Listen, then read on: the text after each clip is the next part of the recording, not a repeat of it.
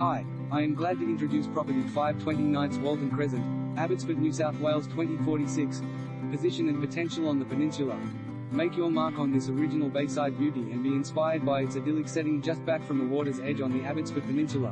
One of ten in a tightly held security block, the first floor apartment's big rooms, bright aspect and peaceful outlook offer the ideal foundations for a cosmetic revamp. With a sunny balcony and level access to common gardens, the two-bedroom apartment features a lock-up garage on title and is an easy 600 metres walk along the foreshore to Abbotsford Wharf and a short stroll to Sydney Rowing Club, Village Life and scenic waterfront parkland.